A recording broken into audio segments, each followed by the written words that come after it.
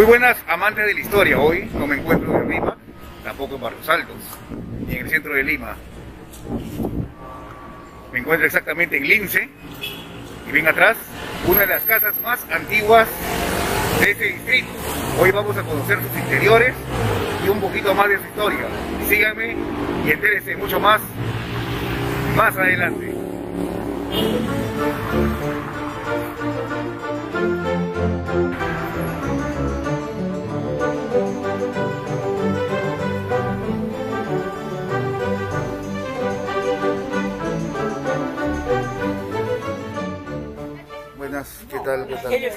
Señora, ¿cómo está? Qué gusto, señora.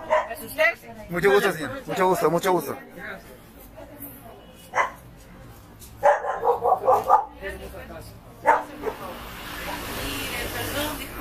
No te preocupes, no te preocupes, no te preocupes.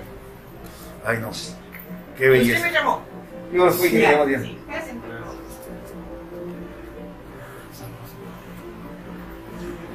Mi madre. esta casa tiene como 90 años. Wow. Está construida de adobe y lo hizo mi suegro con su hermano. Las paredes son de este, este ancho y tienes adobe de cabeza. Ya. Pasó el terremoto de 40 sin ningún problema. Espero que el siguiente No, de, no de, de- de 70 también, igualito, que vamos Ay, bien. sí, espero, pues espero. Eh, Bueno. por ahí escuché que es una de las casas más antiguas del INSE. Eh, antes del distrito del Lince. Todavía no estaba el distrito. Todavía no estaba el distrito. No, no, no, estaba la hacienda Aliso. Claro. En ese entonces se podía. Y todavía él no quería, él quería hacerlo de tamaño natural, pero eso está prohibido. Entonces, ¿qué ha hecho? Pues bien vivo, ha hecho más grande y cuando se- después se templó ya acá, en bastidor, este tamaño original. ¿No? Ya. Actualmente ya no se puede.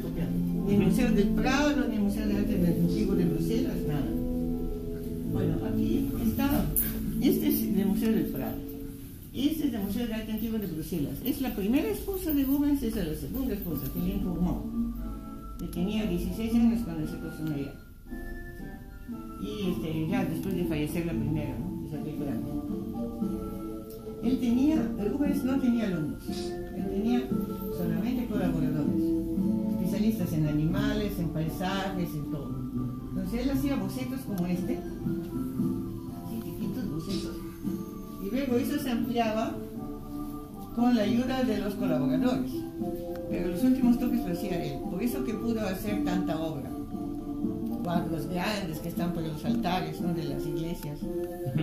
Inclusive pintó un cuadro para su propia tumba en Amberes. Sí.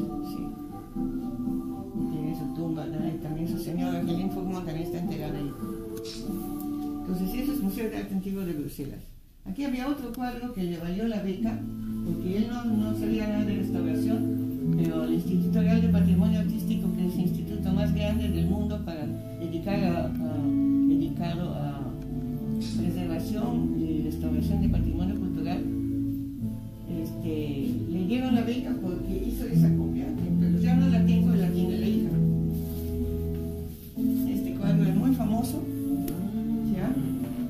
el original y la copia pues, de Fernando, pero las fotos están pésimas. Es así, la- Este, estos dos cuadros también están en el Museo del Prado. Son dos apóstoles, San Simón y Santiago el Mayor. Y este cuadro es, eh, lo pintó Van Dyck. Van Dyck era colaborador de Rubens hasta que se pelearon y se fue a Inglaterra. Ahí está el comprador de obras de arte de Inglaterra, para Inglaterra, para el rey de, de Inglaterra. Hay varios cuadros de acá, copias. Exactamente, copias, todos son copias. por favor. Eso es de Versailles, lógicamente muy achicado, es Apoteosis de Hércules. Ese cuadro lo hizo la mitad, donde están figuras, lo hizo antes de la operación de corazón. Y la otra mitad lo hizo después de operación operación de corazón. Tenido que desarmar todo, bajar la araña y todo para colgar esto. ¿El andamiaje? Sí. ¿Cuándo fue eso? Eh, él fue operado en el año 1989 Ya. de corazón. Después le pusieron marcapaso y todo, pero gracias a marcapaso no le pudieron hacer operación para que tuvo este, retención de líquidos. Entonces, murió, hace cuatro años, en 2017, en 14 de, 15 de junio. Dígame, ¿cómo ha hecho para conseguir todas las molduras, los, los Todo cuadros, se los hizo ma- acá, todo se hizo acá. O sea, Un ¿cómo- año nomás hemos estado haciendo marcos, porque los cuadros llegaron en regalo.